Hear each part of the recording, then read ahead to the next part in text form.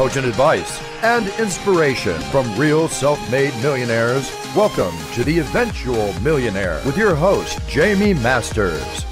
Welcome to Eventual Millionaire. I am Jaime Masters, and today on the show, I am so excited to have Stephen Hoffman. You can check him out. At, he created Founders Space. You can check him out at captainhoff.com, which I think is the best domain ever. He has had an epic career both in Hollywood and Silicon Valley. Thanks so much for coming on the show today. Jaime, it's fantastic to be here. Your career has spanned so much from Hollywood to Silicon Valley. You've done so many different things. You have two podcasts right now. How have you decided to change avenues so much? So I like to say I've had more careers than cats have had lives. So Hollywood, Silicon Valley, I'm a venture capitalist. I've also been a game designer, an electrical engineer, a manga rewriter, a voice a voice actor, you name it. I've tried it in my lifetime, and that's just the scratching the surface of the many things I've done. But it, one thing has been consistent.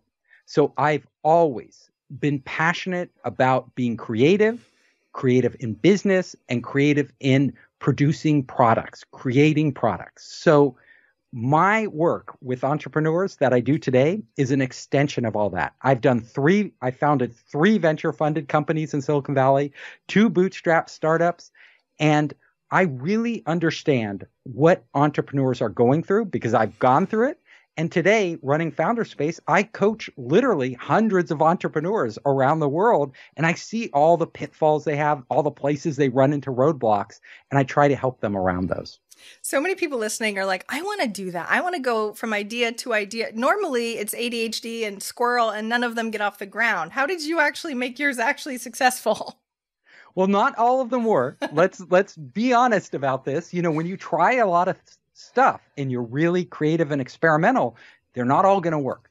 However, I've had a lot I've had more than my share of successes and the there are certain things I do. And I will tell you, and I write about this in my new book. HarperCollins just published it, Surviving a Startup, because most startups fail because they don't do these things. So when you are starting a new venture, the most important thing is not your idea. Everybody thinks, I have to have that epiphany, that brilliant idea before I dive in and become an entrepreneur or do some project. You don't actually. What you need to do, there are two things you need to do. And I'll first I'll tell you what you don't need to do. You don't need an idea. You don't need to go out and raise money. And you definitely shouldn't be building anything. The first thing, if you want to be successful, you should do is surround yourself with amazing people. Like literally, people who you, not, not people who you can get, who you happen to be available, but those people who you really admire, those people who have talents you don't have and compliment you. If you can build this team, your chance of success triples just instantly. Second thing you should do is don't think of an idea. Like this is counterintuitive. Instead, pick an area that your whole team, all of you together, want to work on. And then you go into the real world. And instead of trying to prove this brilliant idea in your head works, that, because more often than not it doesn't, instead of proving this, you actually go into the real world and you start to what I call hunt for demand. Now, great ideas. Like you you could have the best idea in the world. You could have the best team in the world. You could have the best product in the world. You could have all the money in the world. But if there is no demand out there for what you have, it'll go nowhere. So I, I will be I'll give you an example. Let's say you uh, want to change the fishing industry and you want to do good, you see that there's a lot of bycatch. The fishing industry is very inefficient. The fishing industry is decimating our fish stocks around the world and polluting the oceans. Wow, there's a lot that can be changed. However, you could have the best idea in the world to change it, but if the fishing industry doesn't want it, it'll go nowhere. Like it, it doesn't matter. They won't adopt it. So really great entrepreneurs say, okay, I want to change the fishing industry.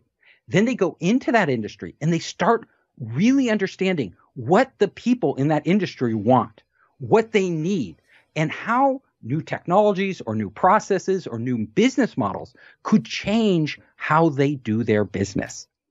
And if they can align th- the goals, that pent up demand in the fishing industry for certain things, like maybe they want to be more efficient, more profitable, you know, they want to do certain things, they want to accomplish things, and you can align those with other benefits that this new technology and new way of doing things does, boom, you can unleash that demand and grow a startup. So don't go out there with your idea trying to sell it to people. Instead, go to where people are having pain, having problems, wanting something. And then you start to experiment with lots of different ideas and see which ones actually unlock the demand, like an oil gusher. That is the key to starting. Being actually open and flexible, which is hard for entrepreneurs, especially if they already have an idea, right?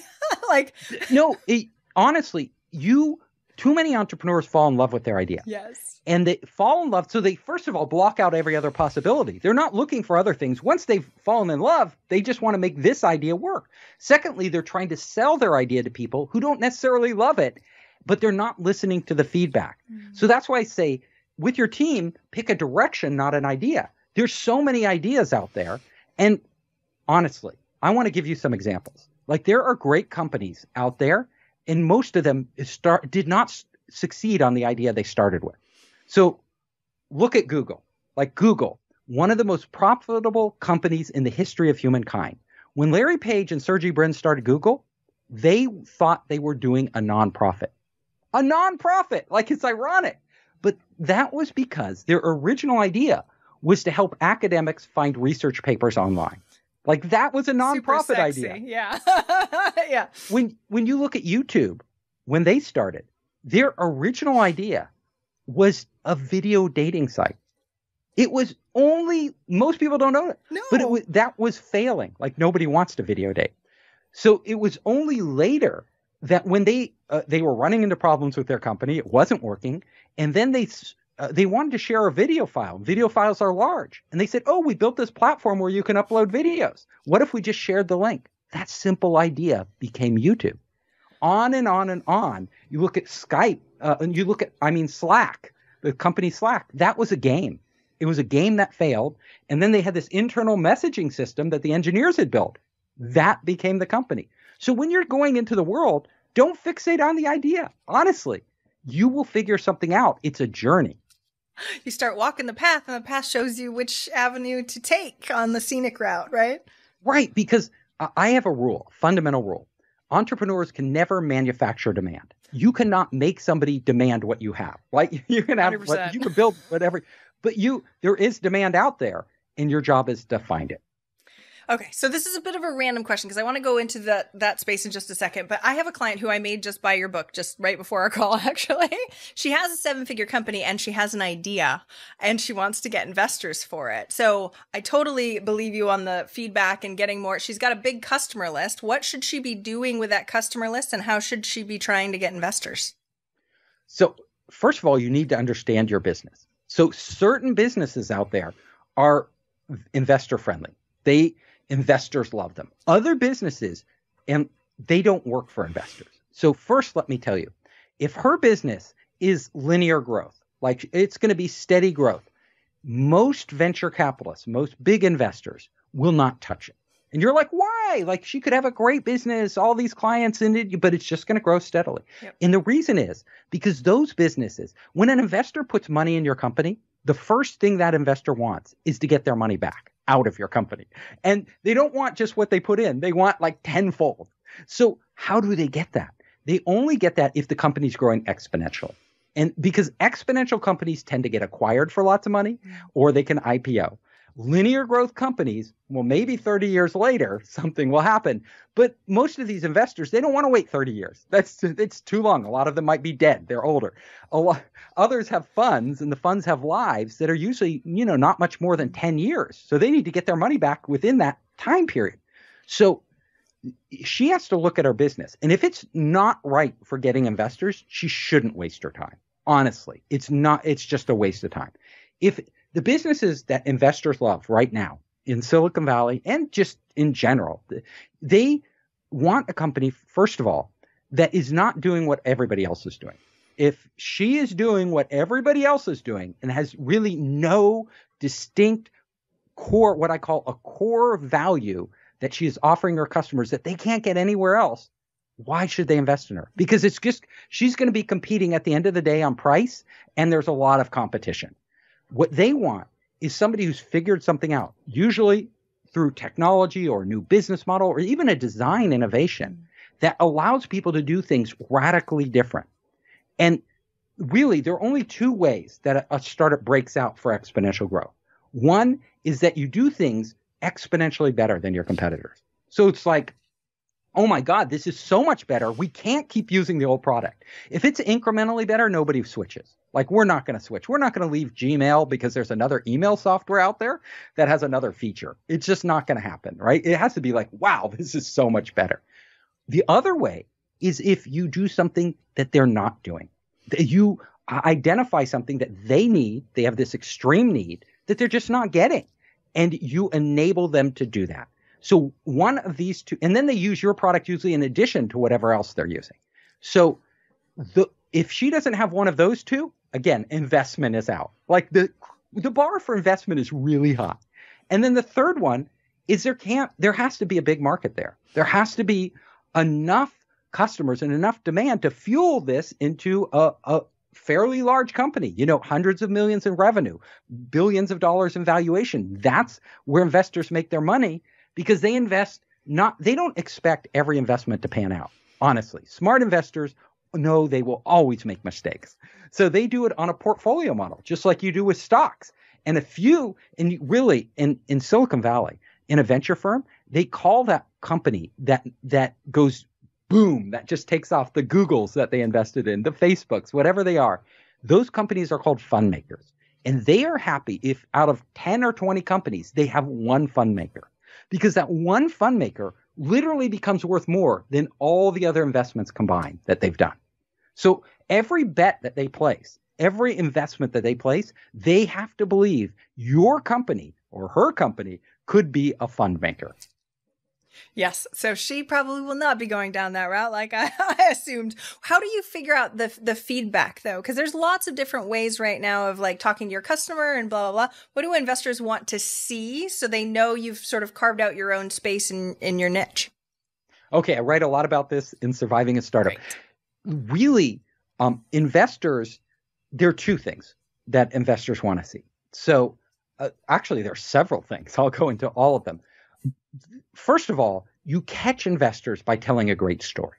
Honestly, people respond to stories. Everybody says they're analytical, but I know investors like they want a story that resonates because if it resonates with them, it's going to resonate with the customers, it's going to resonate with the press, it's going to resonate with employees. These things build on each other. So they they we understand the world through storytelling. So they want a great story, but a great story isn't enough. A great story and a great idea are not enough.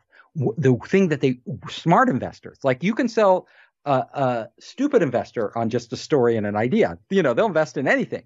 But really smart investors what they want is some sort of proof that they can extrapolate from that yes it meets my criteria. What solid proof? And there's really no more solid proof you can get than the customer how the customer engages with the product so if you're going out to customers at the very beginning and your customers are, are looking at your product and go, oh, that's really nice. That's really nice. Come back when it's ready and we'll, we'll ad- adopt this or that's great to have. As soon as somebody says that's nice to have, you are dead in the water, like dead. Like nobody buys nice to have products. We all like use them for, you know, all those apps you download on your phone. You download them. Oh, that's kind of nice. That's really nifty you forget about it like the next day, and then a month later it's deleted. That's what happens to nice to have products. So what you need when when you go when when your investor, if they can talk to your potential customer, what they want to see is that your customer doesn't go, "Oh, that's nice to have." They're like, "Oh my god, I need this yesterday. I have to have this. How do I get it? I'll pay for it. I'll do whatever it takes. Get me on board with this product." That is they that is the reaction they need because honestly, if what you're offering them isn't in their top five, like priorities, top five, they will never get to it. And honestly, the companies that really explode, it's in somebody's top three priorities. So whoever is making that buying decision, whether they're a person at a big corporation or an individual consumer, if it's not in their top three of things they want, they're just not going to deal with it. Like we're all too busy. So the biggest criteria is can you prove to this investor it's in their top three? A simple way before you even build the product is go out to your target customer if they're other businesses and videotape them or get testimonials or get them to actually write you a check, you know, in advance or do something that proves that this is in their top three, that they are going to take action on this.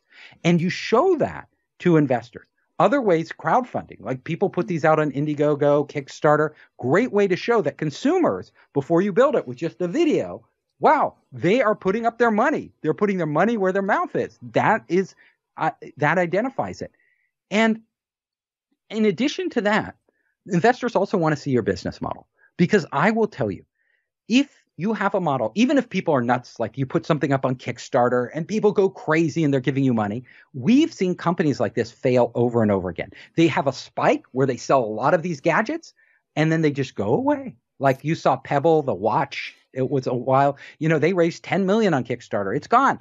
Even, uh, even Oculus that was founded, uh, they raised tons of money on Kickstarter they got acquired by Facebook for billions of dollars. But honestly, if Oculus hadn't been acquired by Facebook, it would be failing now. Like it, it like Facebook has just been pumping money into that company. Wow. It's not a moneymaker.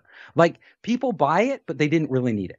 Now, what proves that a company uh, will really sustain itself is the, uh, the core business model, and that is recurring revenue. Mm. The hardest thing you ever do as a business is to acquire a customer that it's the most expensive thing you do. It's the most difficult thing you do. Now, when you acquire a customer, you want to make sure that the customer doesn't just buy your product once and you never see them again. Because that means you have to go out and acquire another customer and another customer and another customer. The great companies of the world, and look out there at, at all the very best companies.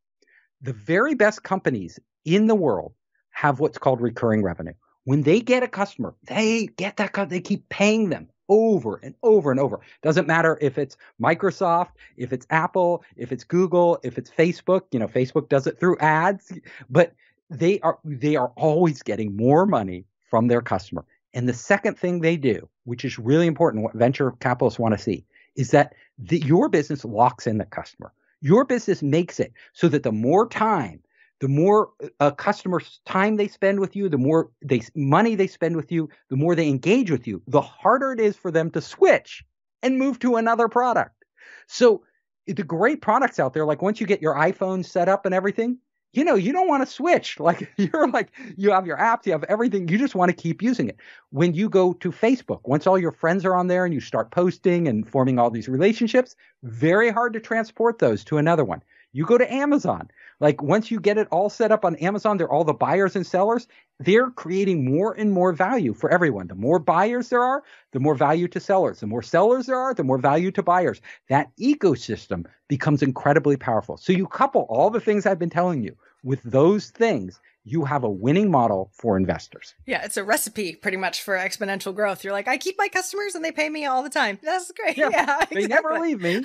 And then you know the venture, it's very simple for them to do the math. They're like, wow, if I give you this money now, you acquire all these customers, you won't be profitable right away. But look, over five years, you're going to make a ton of money.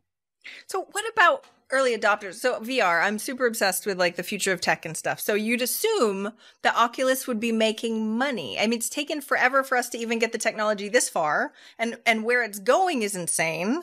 So, why are they failing? Like, or is it just early adopters? Tell me a little bit more about what you think about that.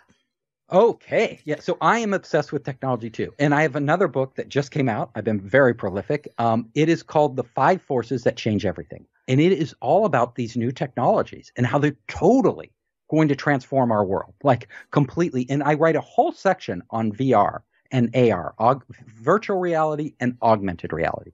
Now, I just dissed VR that Facebook bought because not because VR doesn't have potential which it does, but because VR is still early.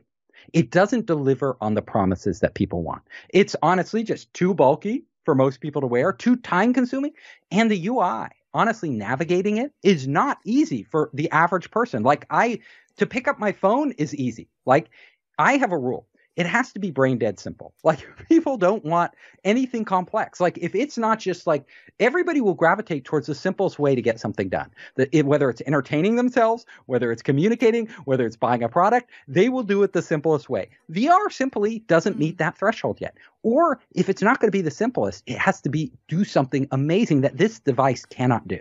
So when you look at VR, the future of VR is in totally immersive experiences in the future. Experiences you cannot have on a phone, on a laptop, in any other way. These are experiences that are going to be, at some point, we're going to get there. They are going to be as lifelike as life itself. Literally, whether it's virtual reality where you're completely immersed or augmented reality, you're layering over the real world.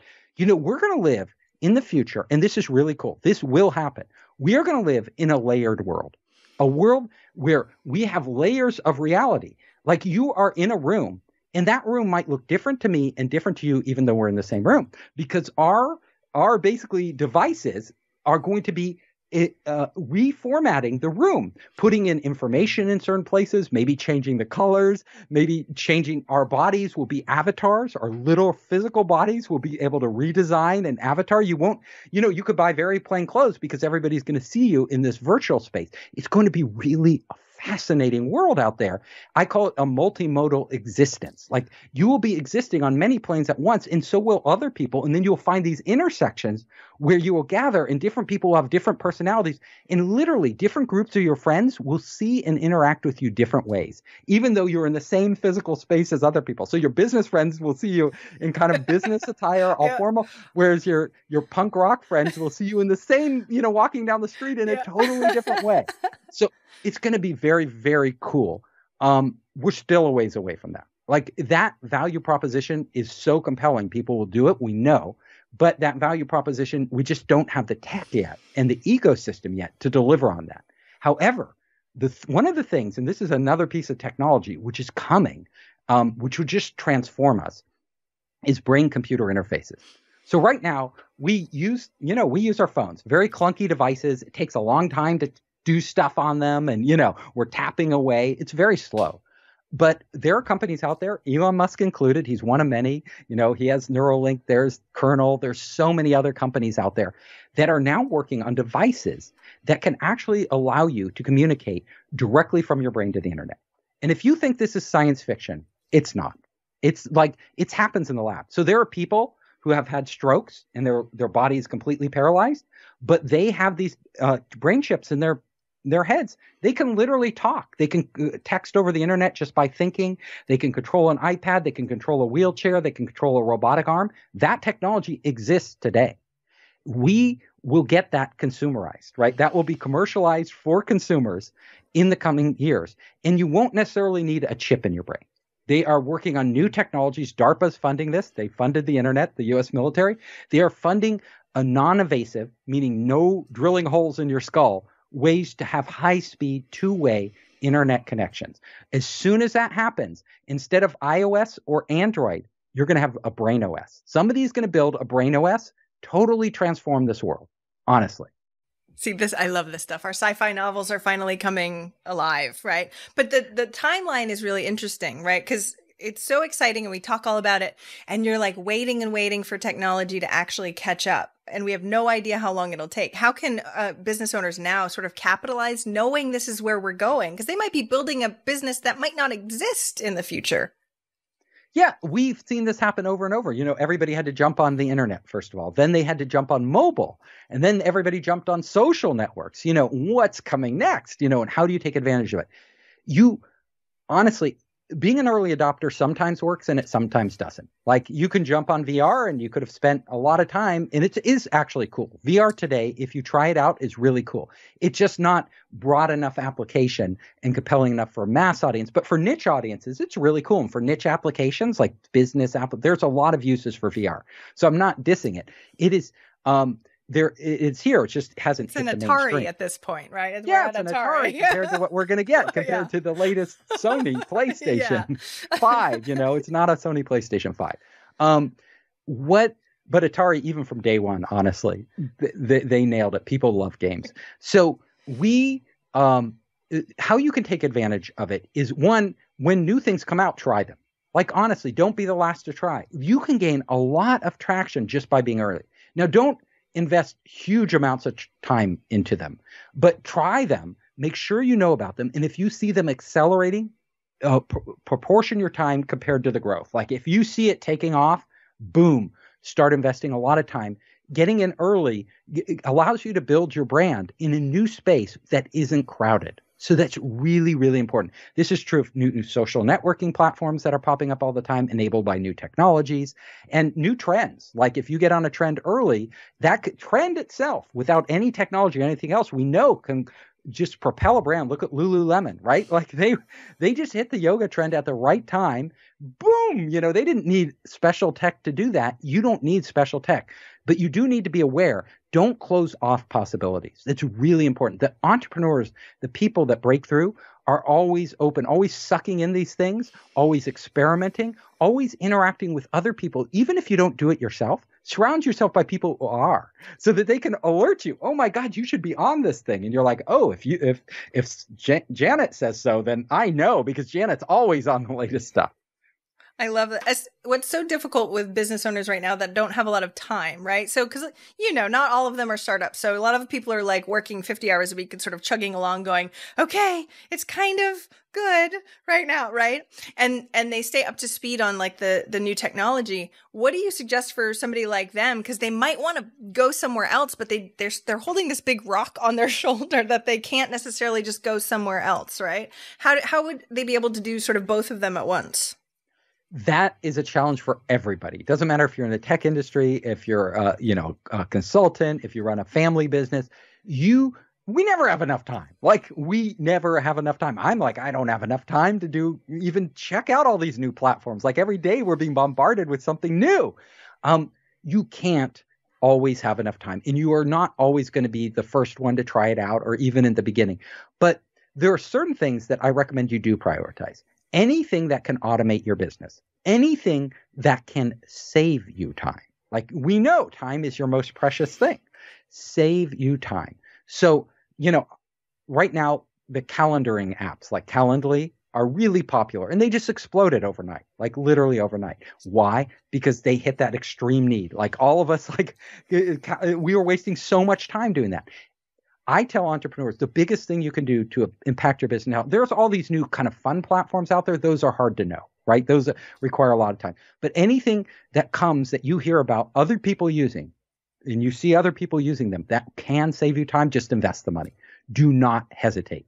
Those things deliver exponential returns. Even if it's a little time every day, adds up to a huge amount of time. And that, like you said, then you have more time actually to think about ways to improve your business. And I'm going to give people other advice. Like, if you really want to innovate, if you really want to get ahead of your competition, which is what I think you're saying, like, you want to innovate, the way to do it is to go to your customer. Go to your customer, not once, not twice, not once a year, but early and often. And always ask them, what are things that you would want that we're not giving you or no other people aren't giving you? What do you want? What do you need? and listen to them. A lot of times they won't tell you what to develop, like what product or service to, to offer them, but a lot of times they'll just tell you the outcome. They'll be like saying, you know, when I do this, it's hard for me to keep track of everything. And then you're like, oh, they want to be able to keep track of things in our flow that we're, where I'm servicing them how could I make that more efficient? How could I make it more transparent for them? Then you don't have to develop new technologies. Like these technologies are out there. There's project management softwares that are out there, like Asana. There are uh, just simple things like Google Docs and spreadsheets that you can literally make shared online, and you can have one of your assistants list all the things that they that are going on, so that they have visibility into it, and and they can keep track and check it off, and you and you can see what they're doing, they can see what you're doing. Just simple things like that can totally differentiate you from a competitor. Like so, both of you offer exactly the same services, let's say, but you offer a way you figured out that your your customers want transparency, they want to be able to track things, they want uh, timely updates, they want the and you use these really basic technologies that you didn't develop, you just use to actually give that to them, and then they're like, oh, "We love you," you know. And once they love you, that's your best marketing you can ever get. Yes, it's like not rocket science, but still, a lot of people won't do it. Do you recommend surveys? Do you calling people on the phone? Do you have sort of a system for this? I, I hate surveys. Okay. I hate surveys. First of all, surveys limit you yeah. because you are putting down what's in your head. So you're not getting at what's in their head. Like everything on your survey list might not be anything that they actually care about. And honestly, when I get a survey, I either ignore it or I fill it out super quickly. Yeah. You know, very few times, unless it's a close friend, that I'll actually take the time to really give accurate responses. So my gut feeling is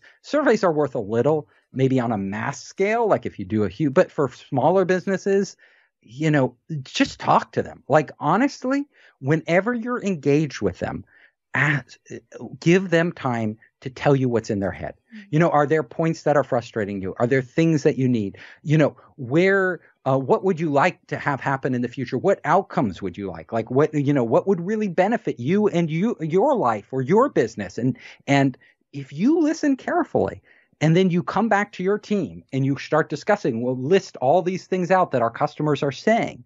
Are there ways we could deliver these? Are there new te- or, or even existing or old technologies and platforms that we could use in new ways to actually get them to, to, to to to deliver this value. At the end of the day, I always say your job is to deliver more value to your customers than anyone else, so that they can't leave. And you look, uh, someone like Amazon you know, Amazon, we all use Amazon. Why do we use Amazon? Like we could switch to another online store. It's not that hard. It's a click away. Why do we use Amazon? Well, Jeff Bezos was brilliant. He literally said, I am always, no matter what, I'm going to deliver more value than anybody else. He was the first one to pioneer free shipping. You know, he was just like free returns, like free shipping, free re- make er, returns super easy, even if it costs us money. People thought he was nuts when he did the returns, making it easy. Everybody, like in the old days, they would hide, they would make it as difficult as possible to return a product because it cost them money. Jeff Bezos took the opposite approach. Why? Because his guiding principle, I'm going to add value. If I add more value than anybody else, they won't leave. They can't leave. Like, and and in your business, you should be doing the same.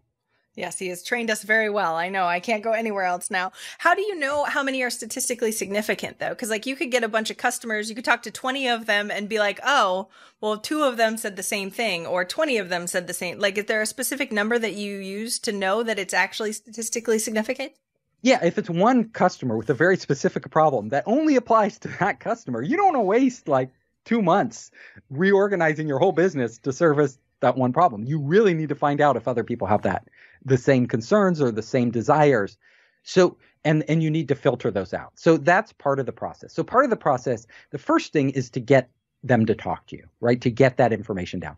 Then once you start seeing a pattern of customers, and there and when you say st- statistically significant, it depends on the size of your customer base, mm-hmm. right? So if two customers say it out of 200,000, that's not that's nothing. But if you have four customers and two say it to you, well, you've just just hit 50% and you want to grow your customer base, you know, to 20, maybe there are a lot of other customers who need that. Then you need to go out to potential customers if you don't have them and get a number where you start to feel confident that wow, this isn't an aberration. It's it's a it's a pattern and and there are enough customers out here to justify mm. whatever the it's a, if it's a small change you could just make it right? If it's something that'll take you a couple hours and it makes your customer happy just do it. But if it's something that's going to take a significant amount of work then the bar goes up like a much higher percentage of your customers need it. And it's not just that they need it they have to it has to be really important to them right? So like i said if it's just a nice to have to them well, if it's easy to do, do it, right? You always want to be nice to your customers. But if it's hard to do, find out the things that are really important to them. And that re- requires that requires you to dive deep, maybe going back to the same customers over and over and over to figure out whether this is really one of their uh, uh, uh, you know, something that's going to affect their decision to stay with you or move to another partner in the future that's Perfect. the answer. That's what that's what I was looking for because if you already have a customer, they're already paying you. They're going to go, yeah, I want that too. Sure, give me that too. And that's that nicety where I'm right. like, why wouldn't they? Like, yeah. if it doesn't cost them anything, give me, give me, give me. Yeah. Um. It, and again, you're only going to be able to charge more. Like, you don't want people to compete with the. Uh, you don't want to compete on price at the end of the day. You want to compete on value right? So a lot of us are willing to pay a significant premium if we know the person is reliable, they, they're communicating well, they do, you know, they're tr- trustworthy, all these different things. So as part of your package, you need to be, they need to be able to, this has to be important enough to them that ultimately you, your value increases and you can raise your prices because your prices shouldn't be dependent on what the market is. They should be dependent upon what your, what you value you're delivering to the customer. And you need to make sure that the customer understands that up front and uh, it's part in whatever they're asking you to change really affects that. Yeah, the only way you'll know what the value to the customer is is no as asking them what value it is to them. We can make up everything in our head and be like, they're gonna love this, and that's why people. Yeah, they're gonna love. They may, you you may well be overvaluing uh, what they're saying. So you need to you need to it, it but look, if you are always engaging with all your customers and all your potential customers, and if a potential customer goes to somebody else, don't just let them go. You should have a follow-up call and be finding out why did they choose that other person? What what did they choose it just on price or was there some value that that customer was providing that we we're not providing? Like really important stuff. So you know the data is all out there. The information is all out there. But the the people who build the great businesses that you're like how did they do that? They're pulling in millions of dollars. Like you, you know every year and i'm only pulling in you know six figures. How did they do that?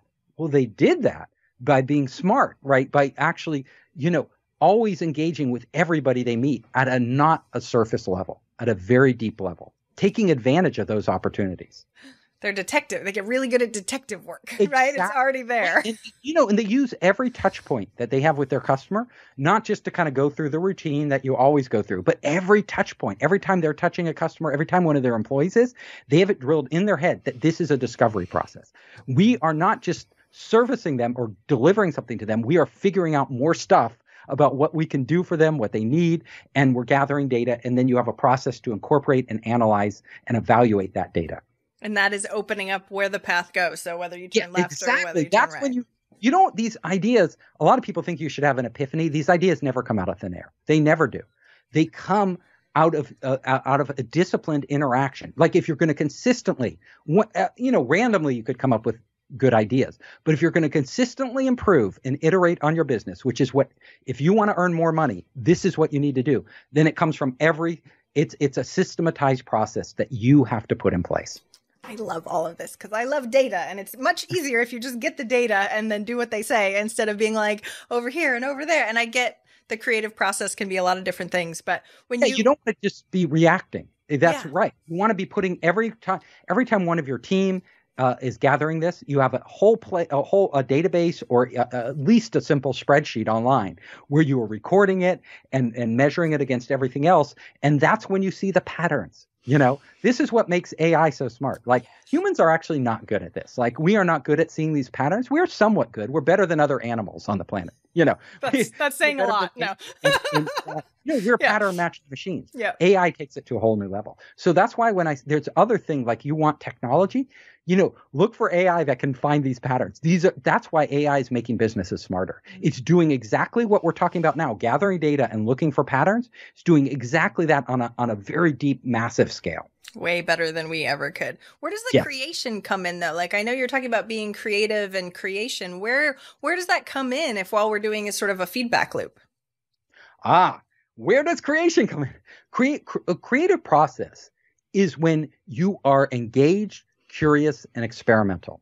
Now, creation doesn't mean like you're an artist just splashing paint on something. You know, that's not being creative, you know, or, or sitting and dreaming up a story. But really, really great creators uh, are people who are disciplined.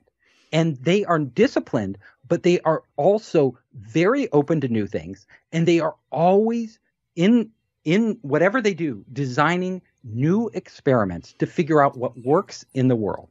Like, think about it even artists that are successful, some break through randomly, right? But you know the story of the starving artist. For every artist that breaks through, there are you know ten thousand that make no money at all. Right? So you I don't want to art have, major. So yes, you I, yeah. Okay, you don't want to have you don't want to have those odds, no. right? so that's kind of just well, it's a it's a statistical thing. But there's certain artists who are kind of destined to break through, And those artists like are great promoters.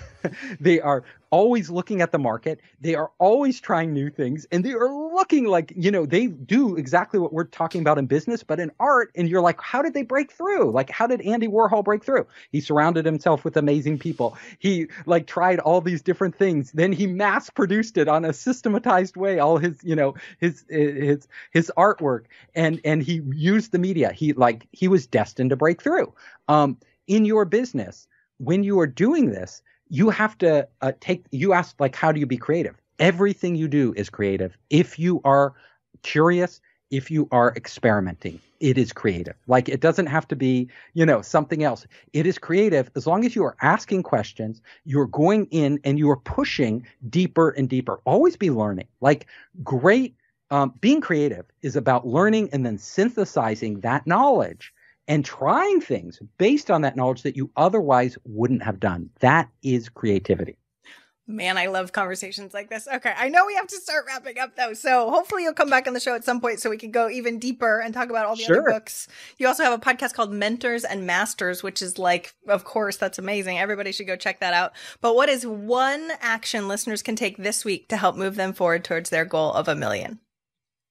Ah, so one action. I've already given you like 20, but I will give you one more action that you could take to move forward. And that is personal. So we've talked about all the things you can do with your business. Now let's talk about what you can do with yourself. There, I always say, if you aren't learning, if you aren't challenging yourself to learn new things on a daily basis, you are missing out. And by challenging yourself, I mean not going to all the same sources that you've always gone to. It means picking areas, domains that you don't know a lot about and exposing yourself to them. So, for example, you're a business person, you're a consultant, uh, you're a small business owner or a big business owner. What about psychology, human psychology? Do you know much? Maybe you took that course, that one uh, elective in college, but really, do you know that a lot probably has changed since then and there's a lot more? You could just get some books out now, right now on psychology. Go to a, a, seminar, go online. There are a lot of people and figure out psychology of, of people. And then it will start to open doors for you. Sociology, you know, design and design thinking. Do you know anything about? I'm not asking you to be a designer, but the whole process of design thinking is absolutely fascinating. Creating user experience, customer experiences. Wow, you can you the beauty of the internet is all this is there. It's there on TED Talks, it's there on YouTube. You can download audiobooks, and I download literally audiobooks. I do at least one audiobook a week. I do it at double speed because I'm sucking in information, and I do it as I do chores and exercise. So it takes up actually no time, uh, uh, you know, because I'm a busy person, and I'm still feeding my brain. You know, travel. You know, if you if you never gone to the opera, just go to the opera, right? Like who knows? Like great thinkers, and Einstein said this, coming up with truly great breakthroughs is called combinatorial play. And the more things you can combine from different disciplines coming in, the more new ideas you will get. I feel like I need to drop the mic after that one. That was awesome. Everybody go get an Audible book. One of one of the new books that just came out. We will definitely link to them. But where can we find more about you and follow you on social? Sure. You can I'm super easy. Go to foundersspace.com and when you come there, we have lots of free material, lots of videos of me talking and different things. My books are there. You know, Make Elephants Fly, Surviving a Startup, The Five Forces, they're all there. And you can reach out to me also on social. So LinkedIn, I'm on all the social networks. LinkedIn's probably the most easiest. Search for Steve Hoffman, Founders Space. You will find me. Awesome. And now I have to add you also. Thank you so much for coming on the show today. I really appreciate it. Thank you, Jaime. If you enjoy this show, I would really appreciate your wonderful words of feedback. Go leave me a review. I would love a rating, whatever you can do in the time that you've got. I would so appreciate it.